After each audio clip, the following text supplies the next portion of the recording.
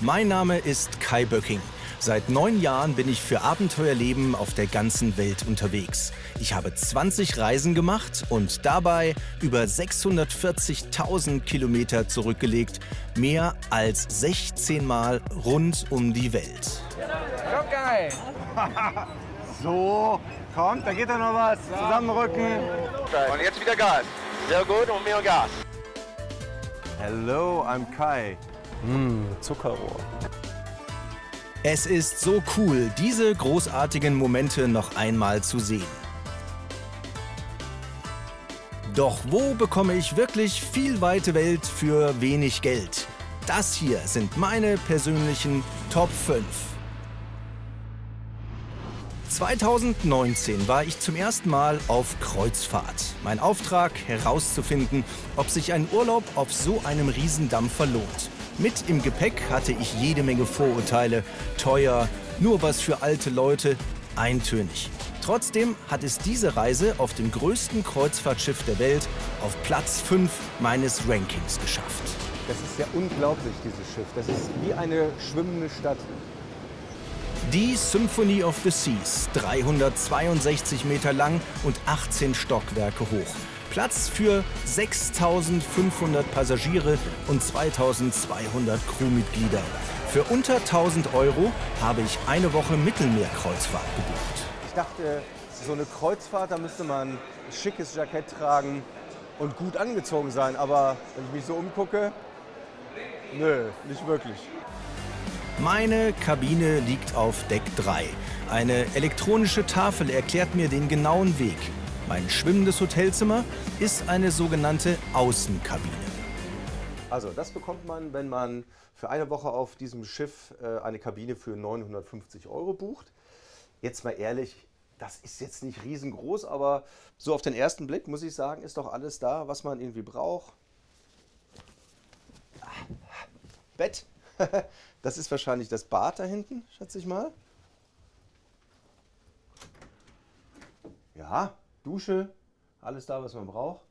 Eben so ein bisschen praktisch, wie man sich das bei einer Kreuzfahrt vorstellt. Aber das Schöne ist, ich habe sogar einen Blick nach draußen. Also, nehme ich. Unsere 7-Tage-Reise geht von Barcelona nach Palma de Mallorca über Marseille, Florenz, Rom, Neapel und wieder zurück nach Barcelona. Auf so einer Kreuzfahrt hat man wirklich die Qual der Wahl. Jeden Abend gibt es den Cruise-Kompass für den nächsten Tag. Da ist alles aufgeführt, was man zum Beispiel an Aktivitäten machen kann. Aber viel spannender ist es immer, wo und wann kann man essen gehen. Fast 100 Restaurants, Bars und Snackläden gibt es an Bord. Ich habe eine Reise gebucht, in der nur das Essen und die alkoholfreien Getränke in den Hauptrestaurants inklusive sind. Essen darf ich dort aber so viel ich will. Wer auf der Symphony of the Seas Urlaub macht, kann in vielen Restaurants 24 Stunden rund um die Uhr kostenlos essen. Richtig cool ist das Spaßangebot auf dem Schiff. Seilrutschen, Kletterwand, Surfwellen und ein eigener Wasserrutschenpark. Alles kostenlos und zum richtigen Zeitpunkt auch fast menschenleer. Einfach darauf warten, dass das Schiff anlegt. Wie zum Beispiel heute in Rom. Da gehen ganz viele Leute runter und man hat das Schiff fast für sich alleine. Und endlich mal Zeit, hier die ganzen Action-Sachen auszuprobieren. Auf geht's! Ey, das ist eine krasse Bahn. Ja. Und ich bin ehrlich beeindruckt. Ein Schiff, das einen amtlichen Wasserpark hat. Damit macht ihr Punkte, Freunde. Let's go.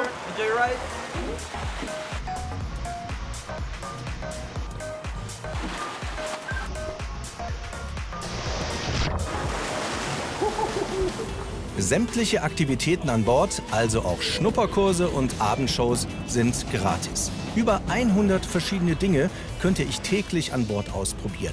Das ist ein dicker Pluspunkt für eine Kreuzfahrt. Am Abend gebe ich mich dann dem Unterhaltungsprogramm hin. An Bord gibt es wirklich alles: Casino, Bars und Diskotheken, Shows, einen Lift mit Pianomann oder Roboter, die mir meinen Wunschdrink mixen für stolze 15 Euro das Glas. Ohne Worte. Das geht schnell ins Geld. Ich könnte auch eine Flatrate für alkoholische Getränke dazu buchen, doch die kostet 550 Euro extra. Ein Erinnerungsfoto mit dem Kapitän gibt's für 20 Euro. Am frühen Morgen erreichen wir Neapel in Italien. Die letzte Möglichkeit für mich, einen Landausflug zu machen. Diesmal will ich testen, ob sich so ein organisierter Ausflug auch lohnt. Und deshalb buche ich einen Ausflug mit den Highlights der süditalienischen Stadt. Für die meisten Leute, die eine Kreuzfahrt machen, ist das Wichtigste, dass man Ausflüge machen kann in den verschiedenen Städten. Wir sind heute in Neapel und äh, hier auf der App zu dieser Kreuzfahrt gibt es über 20 verschiedene Touren durch und in Neapel über Essen, Sightseeing, was immer man sich irgendwie anschauen möchte. Ich habe mich entschieden für die Naples City Side Tour, kostet 60 Euro. Die Highlights dieser Stadt. Und ich habe die Tour so verstanden, dass man bei den Highlights aussteigen darf und Bilder macht. Aber andere Länder, andere Touren. Jetzt ist er hier schon dreimal um den Block gefahren. Das ist die Statue rum. Und jetzt kapiere ich endlich. Wir fahren mit dem Bus so oft um die Sehenswürdigkeiten herum, bis jeder ein Foto geschossen hat aus dem Bus heraus. Das ist so langweilig, dass ich gleich mal eine Mütze Schlaf nachhole. Neapel sehen und schlafen. Aber dann halten wir doch mal an, Aussicht mit Blick auf Neapel. 60 Euro für das längste Nickerchen in einem Bus meines Lebens. Das hat sich wirklich nicht gelohnt, diesen Ausflug zu buchen. Mein Tipp, einfach auf so einen Hop-on, Hop-off-Bus draufspringen. Der kostet 20 Euro und fährt genau die gleiche Strecke. Nur mit dem Unterschied, dass der zwischendurch mal anhält und man kann aussteigen. Mein Fazit, ich dachte nicht, dass ich so viel für mein Geld bekomme. Im Preis von 950 Euro für die siebentägige Kreuzfahrt waren rund um die Uhr Vollpension und unzählige Aktivitäten enthalten. Nur Alkohol und die Landausflüge musste ich extra bezahlen. Eine Reise, die sich wirklich lohnt, wenn man Spaß daran hat, mit 6500 fremden Menschen Urlaub zu machen.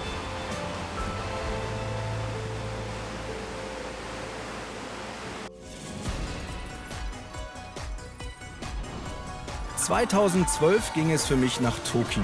Ziemlich faszinierend und eine der teuersten Städte der Welt. Hier mit knappem Budget über die Runden zu kommen, ist eine echte Herausforderung gewesen.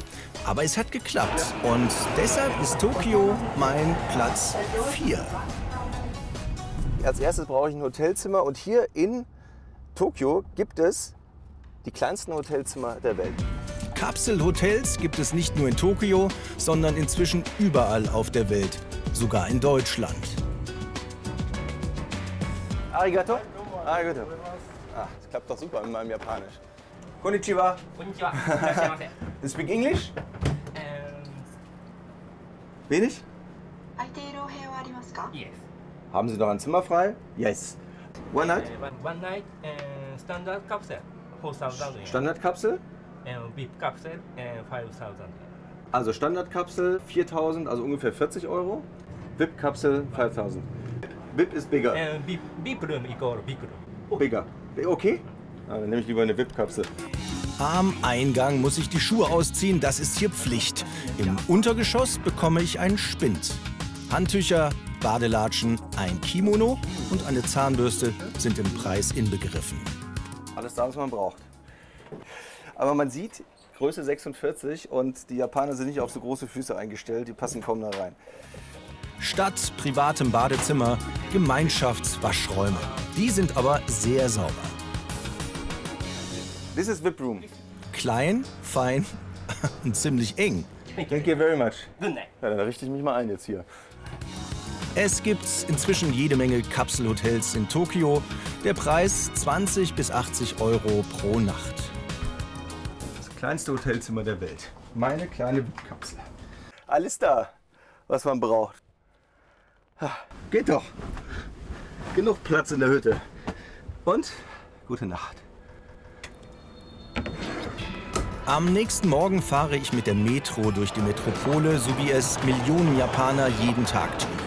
Tokio hat ein tolles Bahnnetz. Für ein paar Euro kommt man hier preiswert von A nach B. Auch wenn es am Anfang nicht leicht ist, sich zurechtzufinden. Keine Ahnung, wo ich hin muss. Super Asusa? Super no, at number number nine. Die Japaner lieben Freizeitparks genauso wie ich. Fuji-Q ist der Megapark in Japan. Nomen est Omen, denn er liegt außerhalb von Tokio am Fuße des Fujiyama, dem höchsten Berg Japans.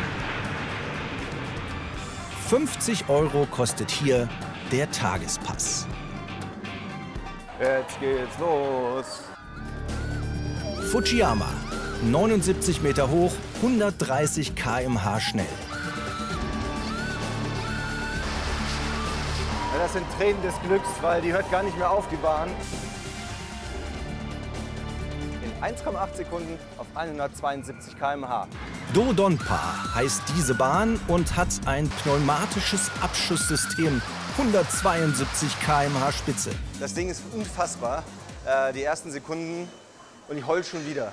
Tagabisha, 121 Grad Gefälle. Aber sehr schön. Das Beste habe ich mir für den Schluss aufgehoben. Ich habe ganz, ganz viel gehört von dieser Bahn. Ich bin sie noch nie gefahren, aber es wird Zeit, dass Ejanecker und ich ein kleines Rendezvous haben. Das Besondere an dieser Bahn, die Sitze sind seitlich montiert und 360 Grad drehbar. Also, das ist der Beweis, dass E-Janaika es wirklich drauf hat. Das ist der Eintrag im Guinness-Buch der Rekorde und zwar für den Rollercoaster mit der größten Anzahl von Überschlägen in der vierten Dimension. Hier steht, dass man sich 14 Mal überschlägt auf einer Länge von 1153 Meter. Und aufgemacht hat er im 2006. Bis heute ist diese Bahn Weltrekordhalter. Die Sicherheitsvorkehrungen haben es in sich.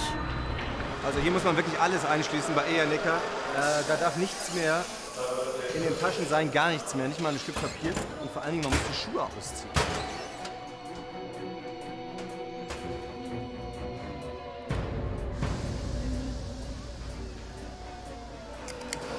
Okay, alles richtig fest. Ich gebe zu, ich bin ein bisschen aufgeregt vor meinem ersten Rendezvous mit dieser Achterbahn. War noch mal auf der Toilette vorher, man weiß ja nie. Also, Daumen drücken. Auf keiner Bahn der Welt wird man so oft auf den Kopf gestellt. Wir beschleunigen auf 126 km/h. Drei Minuten und zehn Sekunden dauert meine Fahrt.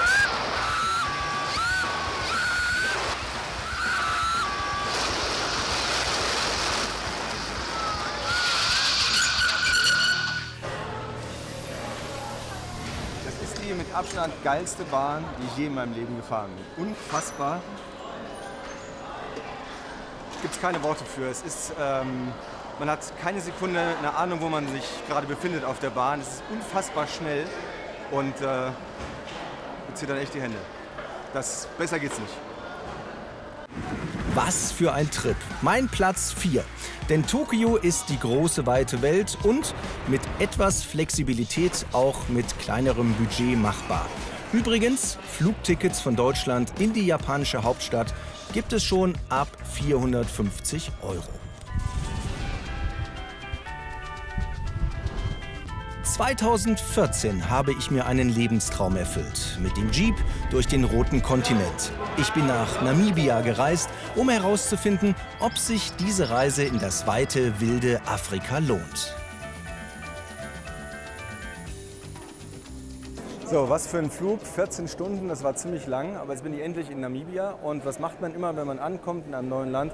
Sich um die wichtigsten Sachen zu kümmern, nämlich Geld tauschen und eine Telefonkarte. So. Bis 1915 hieß Namibia noch Deutsch-Südwestafrika. Denn 30 Jahre lang war dieses Land eine deutsche Kolonie.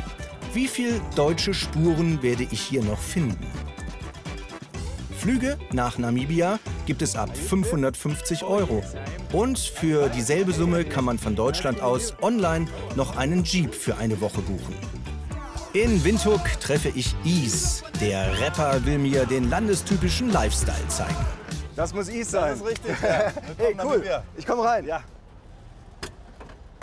Willkommen im Shake and Wagon. Hey, Im Wagon. Ja. Das ist ein cooles Auto. Dankeschön. War das jetzt die Begrüßung oder so? Nicht, nicht ganz. Ich muss dir eigentlich zeigen, in Namibia begrüßt man sich einmal so, Ja. dann geht man wieder auf den zurück und wieder den. Okay. Das ist so der offizielle Gruß. Da gibt es aber so viele verschiedene. Ja, müssen wir alles erklären. Was machen wir denn? Äh, ich zeige dir ein bisschen äh, Windhoek und danach, denke ich, machen wir so richtiges namibianisches Brei. Wir machen einen Brei. Richtig. Wir essen was. Brei. Also nicht das Grießbrei, sondern ein Grill, ein Barbecue. Bei uns heißt das Brei. Ein Brei. Okay. Fleisch, Fleisch, Fleisch. So, los geht's. Gut. Rund 10.000 Deutschstämmige leben auch heute noch in Namibia. Spuren der deutschen Kolonialzeit sehe ich überall. Straßen gibt es immer noch. Die Casinostraße. Es Ja. gibt schon noch viele deutsche Straßen. Es gab viel, viel mehr, aber da sind noch viele, viele deutsche Straßen auf jeden Fall. Wir fahren jetzt gerade in der alten Kaiserstraße und jetzt heißt sie die neue Independence Avenue. Karatura ist äh, das Ghetto von Windhoek und da kann man sehen, wie wir, wie dolle wir Namibianer Fleisch lieben. Und das Okay. wollte ich dir einfach mal zeigen, weil Toll. das ist schon, schon wichtig für uns. Gott. Das sieht ja schon schräg aus. Und es ist schräg. Es riecht nach Blut und gegrilltem Fleisch.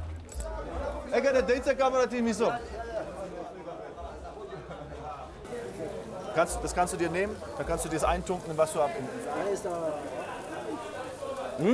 Aber lecker. Barbecue. Ja, lecker. Schmeckt total gut. Sehr frisch, frisches Fleisch. Ich bin ganz froh, dass Is mich zum Einkaufen dann doch in den Supermarkt schickt. Auch wenn das Fleisch auf dem lokalen Markt um 30 Prozent günstiger ist als in diesem deutschen Supermarkt. Hier gibt es Fleisch, so wie ich es von zu Hause kenne, an der sauberen Fleischtheke. Mein Auftrag für acht Leute Grillgut einkaufen. Somebody speaks German? Ja, kann ich Ah, helfen? hallo. Hallo, ich bin Kai.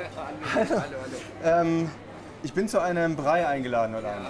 Ähm, und ich soll einkaufen. Ich, ehrlicherweise gibt es ein paar Sachen, ich, nicht, ich weiß nicht mehr, was es ist, aber Sie wissen Ich, vielleicht. ich werde Ihnen auf jeden Fall helfen. Böhrewurst. Das ist pure Wurst, das ist unsere traditionelle äh, Wurst, also eine- wie eine Bratwurst.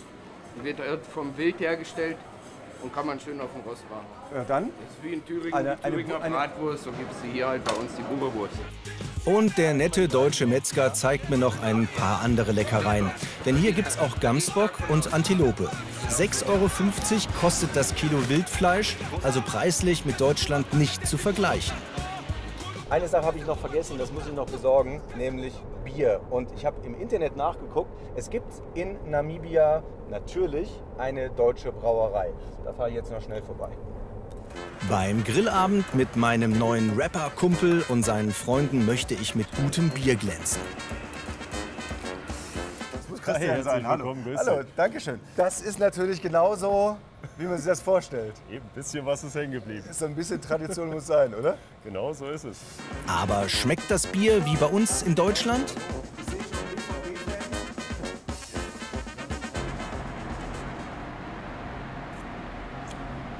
Also ich würde es kaufen. Siehst du? Ich habe mir für unser Grillfest ein paar Fläschchen abfüllen lassen. Das Sixpack kostet in Namibia übrigens um die 3 Euro. Mein Bier, Da ist es. Das Brei ist gerettet, oder? das war jetzt gerettet. Ich danke dir, ähm, war mir Ja. eine große Freude. Ciao. Zum Treffpunkt, den mir Is genannt hat, brauche ich eine Stunde Fahrt, gute Nerven und eine Karte. Kein Navi der Welt kann mir hier helfen.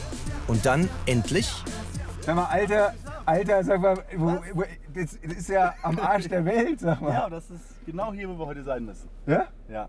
Ich habe schon Feuer ready, wir können gleich loslegen. Ich habe alles dabei, Bier und äh, Hast Essen. du alles Bier. hingekriegt? Alles hingekriegt. Perfekt, my man. So, so, So. und wieder so. Und so. Sharp. Okay, dann let's go. Is und seine Kumpels warten schon auf mich. Die Location ist der Knaller. Ein ausgetrocknetes Flussbett mitten in der Wildnis. Dafür hat sich die Fahrt auf der Schotterpiste gelohnt. So habe ich mir Namibia in meinen Träumen vorgestellt. Am nächsten Morgen geht meine Fahrt durch Namibia weiter. Ich will noch mehr von diesem Land sehen. In Namibia gibt es bis heute noch viele deutsche Gemeinden. Eine davon ist Wilhelmsthal. Hier betreibt die Familie Gebauer einen kleinen Landhandel. Wie ist das hier so, wenn man weit außerhalb der großen Städte ist? Gibt es hier eine deutsche Gemeinschaft? Wir sind fast nur Deutsche hier. Oh, wirklich? Also in der Wilhelmsthaler Okasise-Gemeinschaft kann man sagen 90 Prozent Deutsch.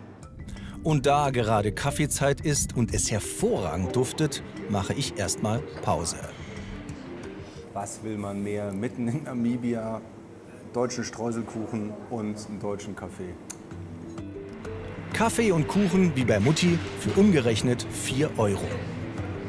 Mein Fazit. Namibia ist preiswerter als Deutschland. Der entscheidende Vorteil für deutsche Urlauber, man kommt hier nahezu ohne Fremdsprachenkenntnisse aus. Die Mischung aus Heimatgefühl und afrikanischer Kultur hat mich nachhaltig fasziniert. Deshalb mein Platz Nummer 3.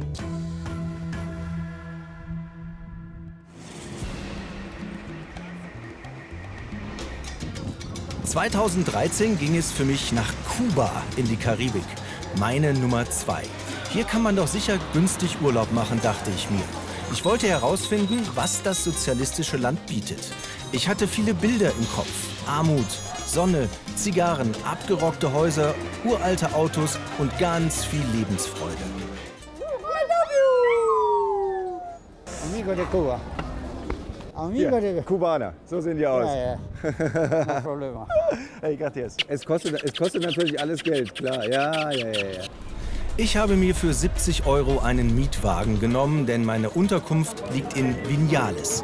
Das ist ein hübscher kleiner Ort im Landesinneren. Hier habe ich mir ein Privatzimmer gemietet. Nur, wo ist es? Villa Yelaidis. Villa Yelaidis. Eh, ¿Dónde está Villa Yelaidis? Okay. Hola? Villa Yelaidis? Yes! Diese Privatquartiere in Kuba sind eine Art betreutes Wohnen. Ich werde herzlich von Maria und ihrer Familie empfangen, obwohl sie kein Englisch redet und ich kein Spanisch. mein kleiner Palast für die, die nächste Nacht. Und das ist echt schön. 25 Euro pro Nacht kostet das Zimmer, inklusive Halbpension.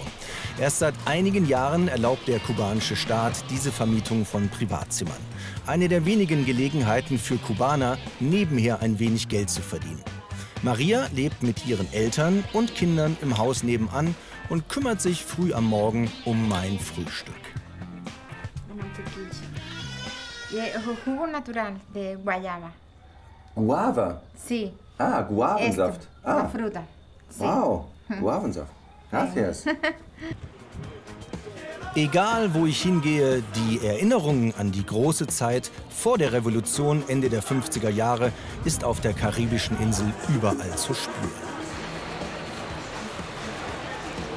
Inzwischen hat sich Havanna übrigens gemausert. Immer mehr verfallene Gebäude sind restauriert und erstrahlen in neuem Glanz.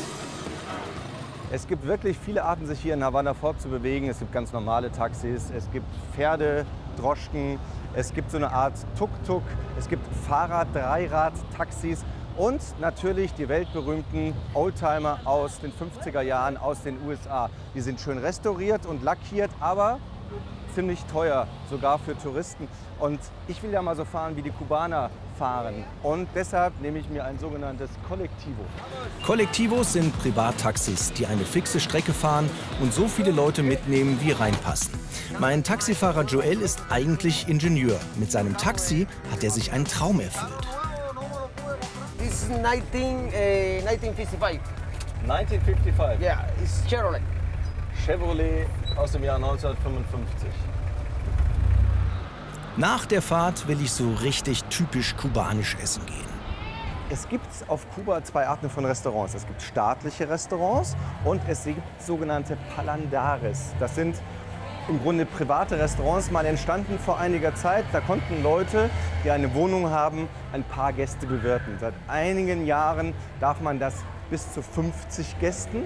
Und äh, so sind die ganzen Paladares hier entstanden. Und eines der besten Restaurants in Havanna ist dieses hier, San Cristobal. Und Paladar bedeutet übrigens Genuss. Hey. Carlos? Hi. I'm Kai. My Carlos. Hola. Hola, Hola. ¿cómo va? ¿Todo bien? How Bienvenido. Carlos und seine Familie servieren hier in ihrem ehemaligen Wohnzimmer die einfache, typische kubanische Küche für ein paar Pesos. Das ist ganz berühmt, das ist äh, Reis mit Bohnen. Und fertig ist es. Okay. I try now. Kubanische Gerichte sind nicht besonders kompliziert. Schweine- oder Hühnerfleisch, dazu Gemüse und den obligatorischen Reis mit Bohnen. Gut. Bueno. Ja. mm. Das ist richtig leckeres Essen. Großartig. Das wohl bekannteste kubanische Produkt, Zigarren. Hier in der Gegend um Vinales, so sagen die Experten, wächst der beste Tabak der Welt. In einer Zigarrenfabrik will ich lernen, wie man eine Zigarre rollt. Nicht schön, aber selten. Meine erste Zigarre. Kuba, das war für mich Liebe auf den ersten Blick. Und die Reise ist auch heute noch bezahlbar.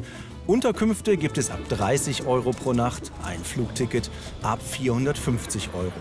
Das Wichtigste aber ist auf Kuba gratis. Die Lebenslust der Menschen hier, die machen wirklich aus dem wenigen, was sie haben, eine ganze Menge. Und deshalb, allein deshalb schon, lohnt sich eine Reise nach Kuba. Und deshalb ist Kuba meine Nummer zwei.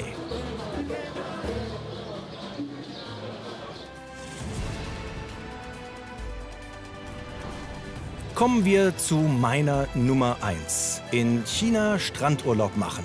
Auf die Idee kommen nur rund 9000 Deutsche im Jahr.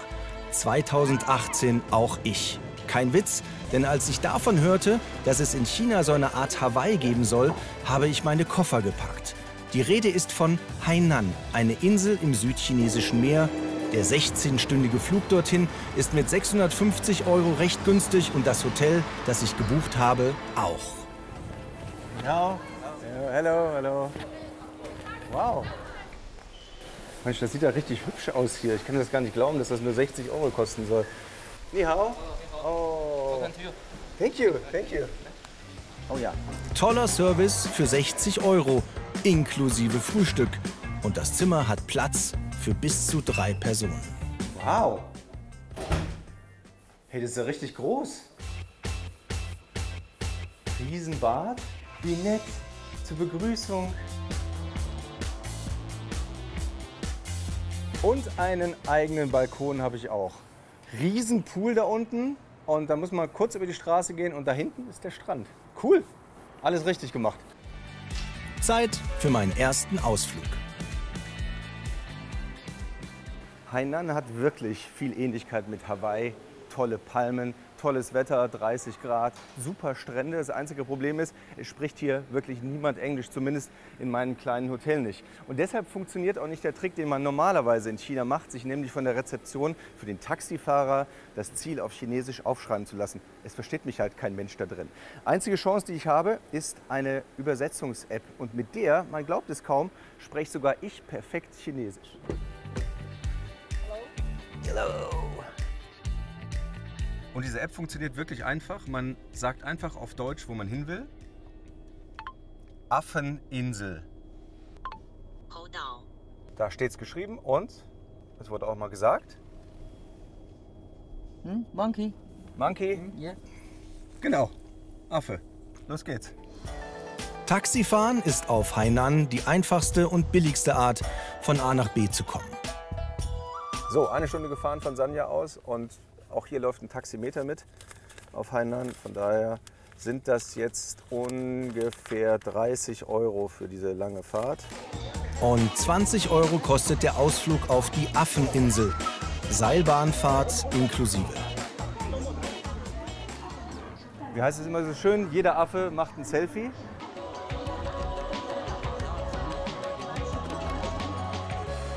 Sobald die Sonne untergeht, beginnt das Leben auf den Nachtmärkten der Insel.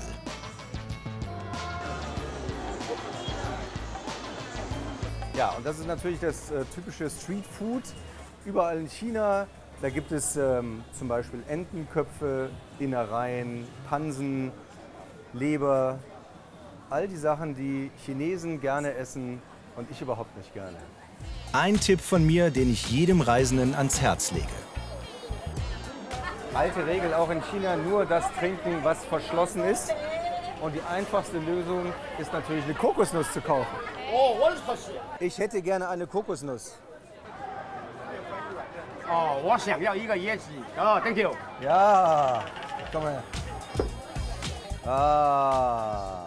Oh, thank you. Oh, thank you. 10 Yuan, das sind 1,30 Euro für eine frische Kokosnuss. Chinas Küche ist vielseitig, lecker, aber für europäische Mägen manchmal eine echte Herausforderung. Sobald ich sehe, dass etwas auf den Punkt zubereitet wird, irgendwie im heißen Wasser brodelt oder in heißem Fett, esse ich es. Wenn nicht, lasse ich die Finger davon. Und wer ganz sicher gehen will, der geht in ein sogenanntes Hotpot-Restaurant, wie dieses hier. Da gibt es zwei verschiedene heiße Soßen. Man bestellt sich dann ganz viele Zutaten dazu, zum Beispiel Fischbällchen oder Tofu, legt es in die verschiedenen Soßen, gart es und dann kann garantiert nichts passieren. Kampai! Und alles nur für 15 Euro. Am nächsten Tag fahre ich in einen der größten Wasserparks Chinas. Der Eintritt kostet stolze 50 Euro, doch es wird sich lohnen. Ich habe ein bisschen Angst. Ich habe wirklich ein bisschen Angst. Und das zu Recht. Auf dem Weg nach oben sehe ich erst, wie lang diese Bahn ist. 280 Meter. Mit Vollspeed geht es rauf und runter. Nix für Weicheier. Boah, Alter, das ist, das ist ja echt krasser Scheiß, das Ding, ja?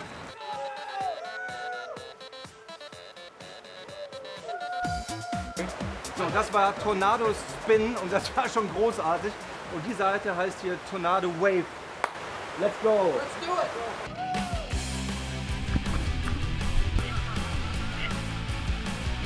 Ich frage mich ja manchmal, was ich hier eigentlich mache.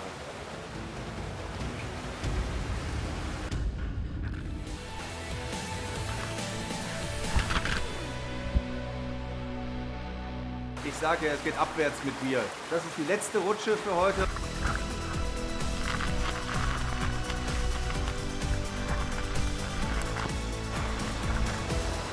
Alter Schwede, weg hier! Oh. Das ist echt krass. Also dieses Teil fordert wirklich alles.